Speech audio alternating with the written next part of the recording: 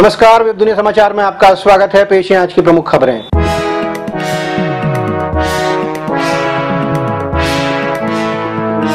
Brussels में तीन धमाके 25 से ज़्यादा लोगों की मौत। बेल्जियम के ब्रुसेल्स में मंगलवार को तीन सिलसिलेवार धमाके हुए, जिसमें 25 से ज़्यादा लोगों की मौत हो गई, जबकि 35 से अधिक लोग घायल हो गए। आधिकारिक सूत्रों के अनुसार हवाई अड्डे पर सुबह दो ज़बरदस्त आत्मघाती हमले हुए। इसके कुछ अंतराल के बाद राजधानी के मेट्रो स्टेशन पर भी धमाके की आवाज़ सुनी गई। इसके बाद सभी मेट्रो स्टेशनों को बंद कर दिया गया। बेल्जियन पब्लिक ब्रॉडकास्टर आरटीबीएफ तथा बेल्जिया एजेंसी के अनुसार हवाई अड्डे पर पहले गोलीबारी की आवाज़ें सुनी गई और इसके बाद धमाके किए गए। धमाके से पहले अरबी में कुछ चिल्लाने की आवाज़ें भी आई। सुषमा स्वराज ने एक ट्वीट में कहा है कि इस हादसे में एक भारतीय महिला घायल हुई है।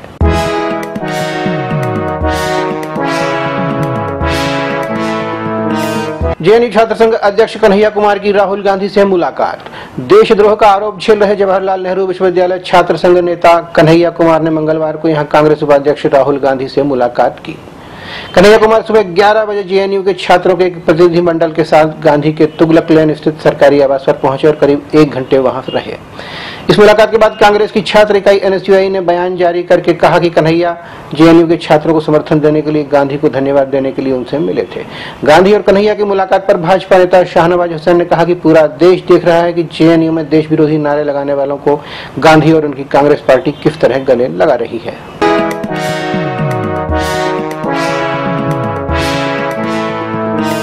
जदयू ने गांधी को कहा, गुलामी गाथा। बिहार में सत्तारूढ़ जनता दल यूनाइटेड के विधान पार्षद राणा गंगेश्वर प्रसाद सिंह के राष्ट्रगान को गुलामी गाथा कहे जाने पर मंगलवार को यहाँ लोगों ने जमकर हंगामा किया। सिंह ने समस्तीपुर में पटेल मैदान में जिला प्रशासन की ओर से आयोजित बिहार दिवस समारोह के दौरान भाषण देते हुए कहा कि राष्ट्रगान, जनगणमन, अधिनायक, जय हे भारत, भाग्य विधाता, गुलामी की गाथा है। इसके स्थान पर यह है मेरा बिहार गीत को राष्ट्रीय गीत घोषित किया जाना चाहिए।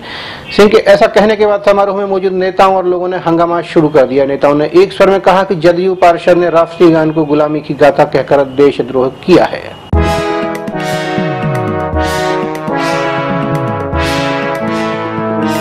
उज्जैन में मिला विस्फोटक एक पुलिस कांस्टेबल की साजिश।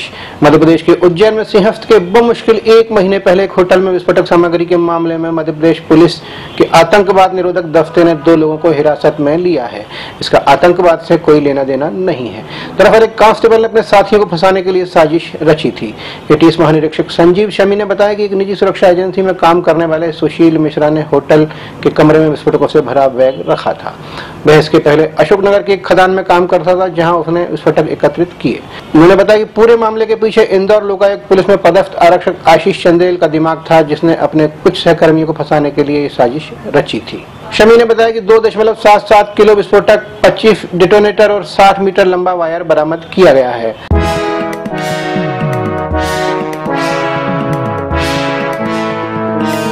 चोरी हो सकते हैं पाकिस्तान के परमाणु हथियार।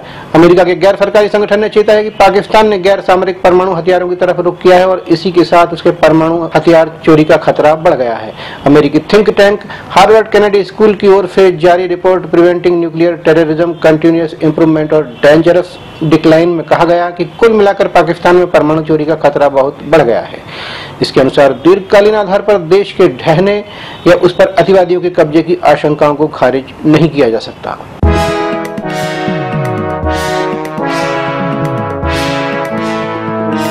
ये थे अब तक के मुख्य समाचार। और ज़्यादा जानकारी के लिए लॉगिन कीजिए हमारी वेबसाइट डब्ल्यू नमस्कार।